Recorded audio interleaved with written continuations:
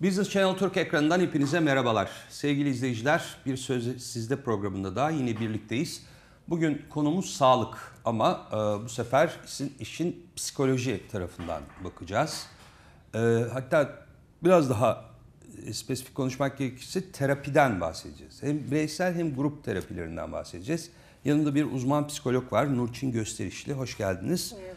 Ee, sizin neydi şeyin adı?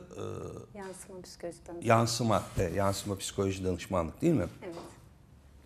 Şimdi Uçan Hanım önce şunu sormak istiyorum. Ee, Türk toplumu psikoloğa hayatta terapiye ne kadar yakın? Şimdi e, aslında bir önceki kuşağa baktığımızda e, biz terapiye, psikoterapiye e, ya da ruhsal anlamda yardım almaya çok da sıcak bir toplum değildik. Deli doktoru mu diyorlar dostlar? Evet, aynen öyle. Çünkü Aynen öyle. kitaplarda, filmlerde falan çok görürüz. Evet. Aynen öyle. Bir önyargı vardı. Ama son dönemlere baktığımızda, son 10 yılda artık e, bunun direkt doktora gitmek gibi normal bir ihtiyaç olduğunu e, ve insanların gerçekten çözemedikleri sorunlarda yardım istemenin çok normal bir süreç olduğunu kabullendiğini görüyoruz. O yüzden e, artık bu süreç ve bazı özel sağlık sigortaları, bazı bankalar özel sağlık sigortanın içine bunu dahil de ediyorlar. E, ve direkt bu yardımı da direkt sanki e, herhangi bir doktora gitmekle aynı statüde görüyorlar. Ve e, baktığımızda aslında artık terapiye gitmek bir önyargı mı? Hayır değil. Değil, kırıldı yani. Aynen öyle. Yani artık insanlar yardım is- ihtiyaç duydukları konularda, çözemedikleri konularda yardım al- alıyorlar. Alıyorlar. Peki en çok eğer bir sıralama yapsak e, en çok hangi sorunlar birinci, ikinci sıraları oluşturuyor? Şimdi e, çocukla da çalışsanız, yani çocuklara da yardımcı olsanız, yetişkinlere de yardımcı olsanız aslında bizim temel olarak üzerinde çalıştığımız e, sorun ilişki sorunları. Ee, Bir, yani ço- bir çocuk şey kuramamak. İlişki kuramamak. Öyle. Bir, bir çocuğu annesi babası size yardım için getirdiğinde o çocuğun arkadaşları ya da öğretmeniyle yaşadığı bir sıkıntı oluyor. Ee, ya da bazen de kendisiyle yaşadığı bir sıkıntı oluyor.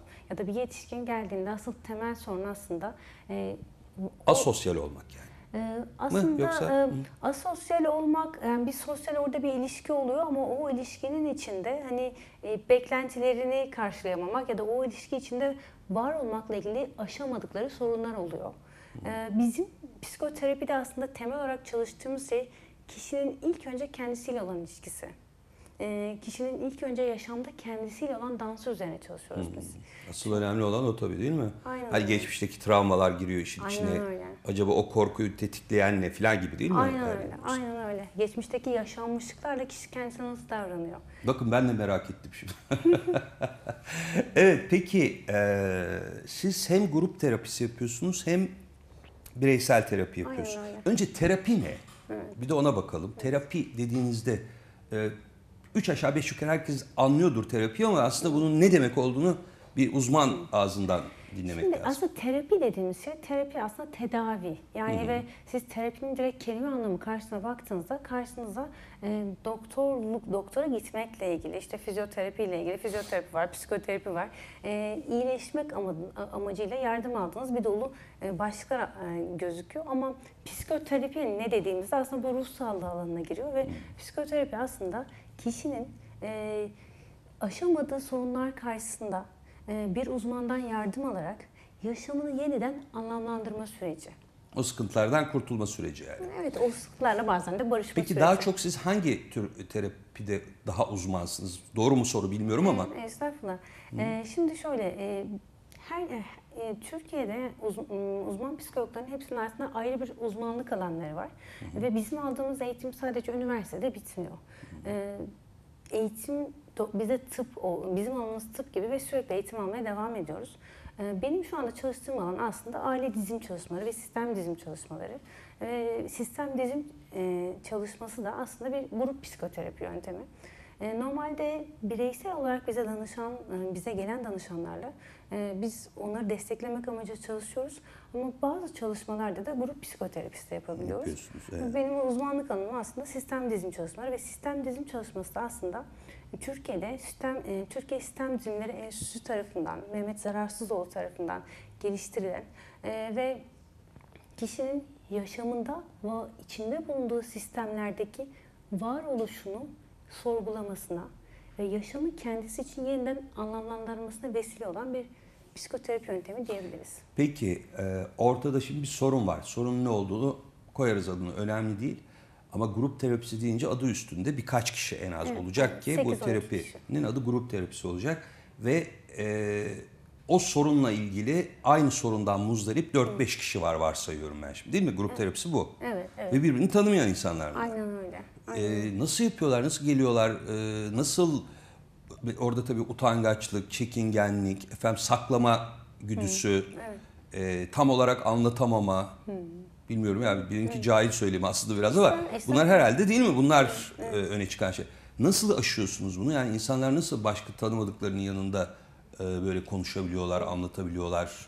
Ee, Şimdi e, grup psikoterapisinde aslında e, ilk önce böyle bir grup psikoterapisine başlamadan önceki süreç aslında ilk önce oradaki uzmana güvenerek insanlar geliyorlar. Ama e, böyle bir durum olduğunda o grup psikoterapisinde oluşturulan ortam aslında insanların ilişkisel anlamda birbirini destekleyici, destekleyebilecekleri bir ortam oluyor yine. Yani o gruba e, çok girişken bir insan da gelebiliyor, çok çekingen bir insan da gelebiliyor. Ve girişken insanın ifade ettikleri bazen çekingen insanın ifade edemedikleri oluyor. Ve o da o zaman onu destekliyor filan gibi. aynen öyle. Konular genellikle ne oluyor grup terapilerinde? Ee, aslında temel olarak hani son dönemde çalıştığımız konu e, genel Türkiye'de bitmez tabii konu da. olarak Yani. Ha, o ayrı ama en temelde aslında biz hep böyle anne baba çocuk üçgeninde yetişkinle bile çalışsak o anne baba çocuk, çocuk üçgeninde anne ile ilişki baba ile ilişki ve bunun orada kullanan ilişkinin partnerle olan ilişkiye yansımasını çalışıyoruz. Çünkü ilk aşk nesnesi aslında anne ve kişi anneyle nasıl bağlanırsa ilk önce yaşamla ve sonra da partnerle de öyle bağlanıyor. Kız için de aynısı geçer. Erkek herhalde. için de, kız için de.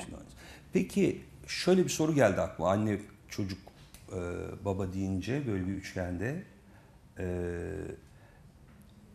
genel olarak baktığınız zaman bizim ülkemizde tabii bu da ayrılıyor yani daha kentli olanlar, daha okumuş olanlar, daha efendim e, okumamış olanlar filan gibi ama genel anlamda baktığınızda anne baba çoluk çocuk ilişkilerinde en çok öne çıkan şey ne sizce? Otorite mi, sevgi mi, baskı mı, stres mi nedir? Nasıl e, anlamlandırıyorsunuz? Şimdi bir önceki kuşakta e, genellikle gözlemlediğimiz şey aslında e, çocuğun çocuk olarak bırakıldığı ve anne babanın daha dominant olduğu bir yapı. E, Otorite yani. aynen öyle ama şimdi biz e, o otoriteyle e, büyümüş olan çocukların çocuklarına danışmanlık veriyoruz ve şöyle bir ihtiyaç görüyor. Ben söyleyemedim, o söylesin. Ben hayır diyemedim, o hayır desin. Enteresan. Şimdi bir uçtan başka bir uca kaymış Yani durumdayız. halbuki beklenir ki e, anne babadan gördüğünü çocuğuna uyguluyor. Değil mi? Bu tamamen değişmiş. Aynen öyle, tamamen Çok değişmiş güzel bir şey bu ama söylediğiniz. Evet, bir taraftan kıymetli, e, eskiden çok dominant ve otoriter anne babaların daha sakin ve içe kapanık çocukları varken şimdi karşılaştığımız manzara e, benim yapamadıklarımı yapabilsin ve benim sahip olamadığım özgüvene çocuğum sahip olabilsin. Ha, güzel. Ama baktığımızda da öbür uca kaçmış durumda. Ama yaşam bir denge. Denge tabii. Yani ikisinin ortasını nasıl bulacak meselesi Aynen. çıkıyor ortaya. Bu süreçte aslında birazcık biz de anne babalara, genç olan anne babalara şunu hatırlatıyoruz. Evet bir birey olmasını istiyorsunuz, özgüvenli yetişmesini istiyorsunuz ama o hala bir çocuk. Doğru. Ama en azından bunun yolunu göstermek filan gibi. Sizin herhalde en büyük Aynen. yardımınız burada. Siz anne misiniz? E, hayır, Değilsiniz. hayır. Anne baba nasıldı sizde? Hmm, Benim anne babam hmm, klasik bir Türk anne aslında. Yani Geleneksel. babanın otoriter olduğu, yine annenin arayı bulduğu. Hı, tamam. yine. Tam tipik Türk ailesi Aynen yani öyle. genel anlamda. Aynen öyle.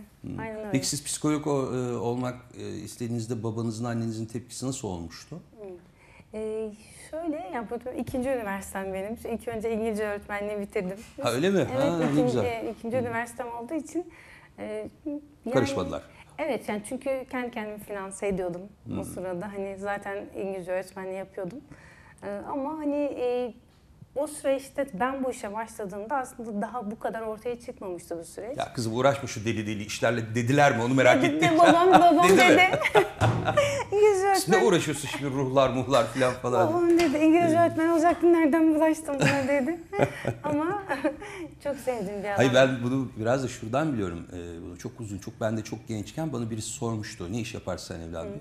Ben de büyük gururla gazeteciyim demiştim. Aa ne güzel başka demişti. Nasıl yani? Kalmıştım böyle ben de yani gazeteciliği meslek olarak bile görmeyen bir mantık e, vardı. Hatta beni herhalde gazeteci satıcısı mı zannetti? Öyle de olabilir onu da bilemem. Onun için yani e, psikologlara hep ben sorarım da bu soruyu. Yani acaba sizin aile veya sizin çocuğunuzla ilişkiniz nasıl falan diye. Peki e, aileyi gördük. Şimdi bireysel bir şeye de bakalım. Gruba giremeyecek kadar çekingen olanlar veyahut da öyle başlayıp sonra gruba dahil olanlar oluyordur mutlaka. Evet. Ee, burada en çok tamam kendisini tanıyacak ama ne bileyim ben aşk acısıyla mı geliyor? Efendim şimdi kariyer edinememenin çekingenliği var. Onu kırmak için mi geliyor? Aklıma gelebilenler bunlar veyahut da ne bileyim çok büyük bir travma geçirmiş, ailesini kazada kaybetmiş. Sa- atıyorum yani. Aynen. Ee, nasıl e, geliyorlar daha çok? Şimdi e, özellikle 20-30 yaşlarda olan danışanlar daha çok yaşamda bir konum kendini konumlandırma ile ilgili destek alma sürecinde bize gelebiliyorlar. Ya hiçbir şey olamıyorum falan düşünceleri var. Üniversite mezunu olmuş oluyorlar, bir, bir işe girmiş oluyorlar. Yaşamdan ne bekliyorum, bu işte mi devam etmek istiyorum? O sırada biraz partnerle ilgili de e, Sorunlar çıkıyor. Sıkıntı oluyor, aşkta sıkıntı oluyor. Acaba hani bu kişi doğru kişi mi? Gibi o tarz e, süreçlerle bize gelebiliyorlar. Burada daha çok kadınlar mı geliyor, erkekler mi geliyor bu konuda? E, aslında kadınlar daha çok geliyor. Çünkü Yani- kadınlar çok daha e, duygusal ve e, daha derinlikle baktıkları için herhalde olsa Aynen. gerek. Yani kadınlar daha çok gelip çi- çift terapisi için daha çok eşlerini ya da partnerleri ikna etme sürecinde. Zorluk. Aynen öyle ve sonra bir anda karşınızda asık suratlı bir Biraz bey oluyor. Beni o getirdi diye. Ay Allah doğrudur, doğrudur gerçekten. Ee, ya 30'lu yaşlarda işte daha çok hani özellikle kişi evli, evli ise o çocukla ilgili beklentiler, kariyer beklentileri yerine getirilmedi mi, getirilmedi mi? Ee, ne bekliyorum? Daha çok onların üzerinde daha duruyoruz. Eğer herhangi bir travma yoksa. 40'lı yaşlarda Gülgün Hanım'a da bahsetmiştim. Ee, artık ikinci ergenlik ve isyan dönemi. Eğer ergenlik döneminde o isyan edilmemişse, ergenlik döneminde o hayırlı hayır denmemişse o zaman yaşama büyük bir hayır deme süreci başlıyor. Bu Ve- nasıl sonuçlar doğuruyor? ee, bu yani kişinin yaşamdan yaşama değişiyor ama yaşamda büyük taşların yer değiştirdiği bir süreçle karşı karşıya olabiliyoruz. Yani evliliğin e, boyut değiştirmesi, evlilikte büyük değişimler, e, partner ilişkisiyle işin değişimi olabiliyor. Kişi işini değiştirebiliyor. Bu süreç içinde ilk önce kendini e, çok büyük bir çaresizlik içinde bize getiriyor. E, Bize gelen danışanlar genellikle kendilerini tek bir gerçeğe hapsetmiş danışanlar oluyor. E, Yani yaşamda- nasıl? yaşamda tek bir gerçeğin var olduğunu düşünüp Başka bir şey olamayacağını. evet kendilerini çok umutsuz hissediyorlar. Oysa biz bu süreçte ilk önce insanoğlunun tekli gerçekli değil. Mehmet hocamın sözleri çok severim Mehmet Zararsızoğlu'nun. Tekli gerçek değil. Birden fazla gerçekli y- y- yaratıklar olduğunu aslında onlara söylüyoruz. Diyoruz ki, Aslında doğru. doğru. birden fazla gerçeğimiz var. Yani buraya Ha, bir geldiğimiz gerçek var, bir de hakikat var. Ee, yani e, sizin kafanızdaki gerçekle hakikat birbirine uymadığı zaman yandınız zaten. Onu, Aynen onu öyle. çözmek için değil Aynen mi? öyle. Yani bize geldiğinde kişi e, kendini umutsuz bir gerçeğe saptamışken aslında biz yaşamda varoluşuyla ilk önce potansiyelini ve güçlü yönlerini hatırlamasını sağlıyoruz. Çünkü Alman psikoterapist Bert Hellinger'in çok güzel bir sözü vardır. Der ki, herkesin kendi sorununu çözebilecek kadar gücü vardır. Biz sadece bu gücü harekete geçirmeye çalışıyoruz. farkına varması önemli Aynen olan öyle. diyorsunuz. Peki e, benim son bu yıllarda çok duyarım e, panik atak. Evet. Ve bizde çok olduğu söylenen. Aynen öyle, aynen O, o bu sorunlardan dolayı mı Evet. e, ortaya çıkıyor? Panik atak bedenin konuşmasıdır. Öyle mi? Nasıl yani? Arkadaş bana iyi bakmıyorsun. O mu? Evet, benim canım yanıyor. Ve sen beni duymuyorsun. ha.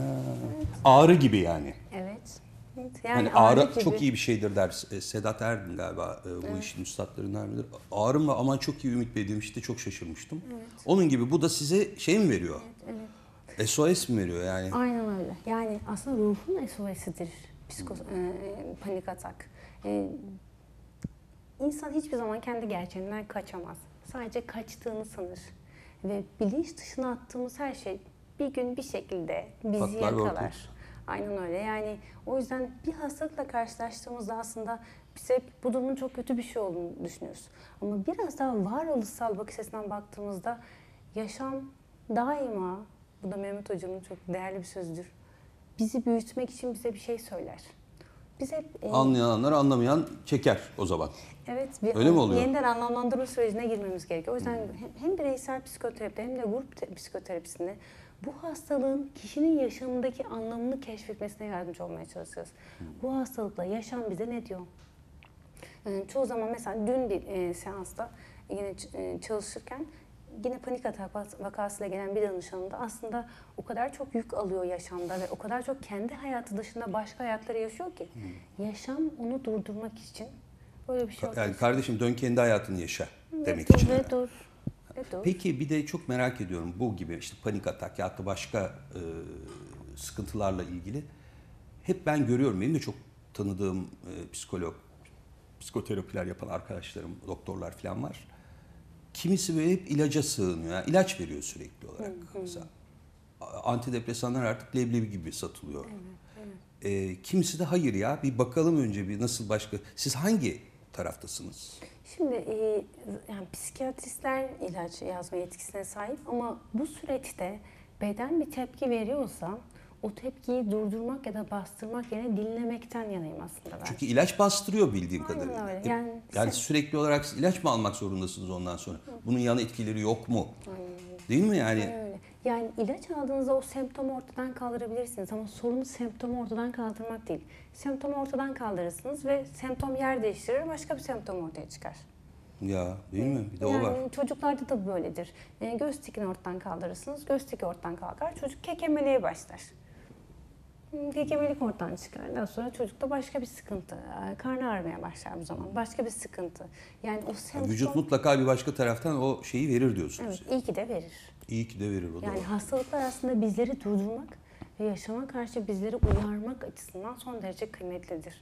Ama biz hep yaşamda mutluluk peşindeyizdir. Hep mutlu olalım, sağlıklı olalım. Tabii ki de sağlıklı olalım ama aslında biz hasta olduğumuzu ve gerçekten üzüldüğümüzde durup yaşama, ya ben burada ne yaşıyorum diye düşünmeye başlarız. E yani eğer mutsuzluk olmasaydı mutluluk olmayacaktı. Veyahut da işte hastalık, iyi olmak, sağlıklı olmak zaten birbirinin zıttı olarak. Aynen öyle. Yoksa sürekli mutlu olunca mutluluk diye bir kelime olmayacaktı e, Aynen galiba. değil mi? Aynen. Ama sizin zaten işiniz hem çok önemli hem çok zor. Ee, Evet, e, bu süreçte e, Gülgün Hanım'la da konuşmuştuk aslında.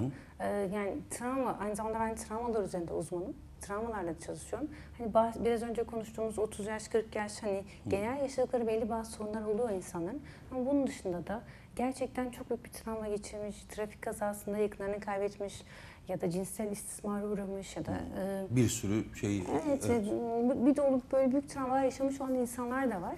Ve e, bizler aslında tamamen insanların yaşam yolunda insanlara eşlik eden ruh eşlikçileriyiz. Çok güzel. E, bu ruh eşlik etme sürecinde biz de yardım ederken aslında bizlerin de yüreği yanıyor. O yüzden Tabii canım siz de o kadar çok şimdi şey dinleyince sizin de panik atak olmamanız e, çok o mucize. yüzden bizim de bakmamız gerekiyor kendimize. Herhalde, herhalde, Evet, herhalde. Ee, Valla Nurçin'im çok teşekkür ederim. Çok şey öğrettiniz bana da. Estağfurullah. Yani bazı bildiğim zannettiğim şeyleri de e, düzeltmek ihtiyacını böylece karşılamış oldum. Çok sağ olun. ben teşekkür için. ederim. Çok sağ olun. Sevgili izleyiciler işte görüyorsunuz. Ee, bence Türkiye'de en çok ihtiyaç duyduğumuz hele bu dönemde, hele şu bugünün Türkiye'sinde bence en önemli e, meslek grubu psikologlar ve psikiyatristler demek lazım diye düşünüyorum. Bir başka Söz Sizde programında yine başka konuklarla, başka alanlardan konuklarla, söz sahibi konuklarla birlikte olacağız. Şimdi hoşçakalın.